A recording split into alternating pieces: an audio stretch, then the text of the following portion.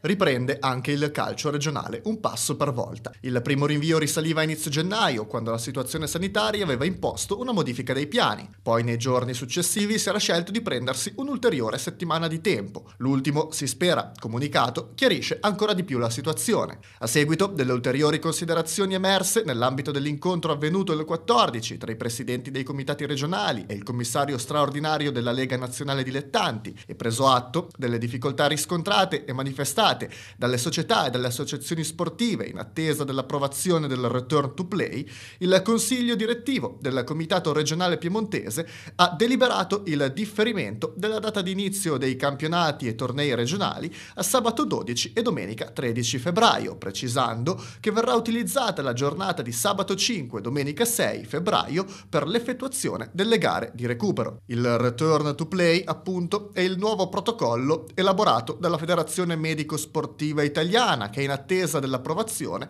da parte degli organismi governativi competenti riguarda la ripresa dell'attività sportiva per gli atleti risultati positivi e guariti dal Covid, un processo che comporta spese e una serie di passaggi burocratici. Resta confermato che il campionato di eccellenza riprenderà comunque in data 23 gennaio 2022, con la prima giornata di ritorno, come già reso noto inizio mese. In sostanza quindi rimane confermato il ritorno in campo di Biellese e Fulgor Valdengo per questo fine settimana, un doppio impegno casalingo che vedrebbe la capolista, allenata da Mister Rizzo, ospitare ospitare in corso 53 Fanteria lo Stresa, secondo della classe, per la partita dell'anno. I rossoblù valdenghesi sfiderebbero invece il Borgo Vercelli, in una partita delicata per la salvezza.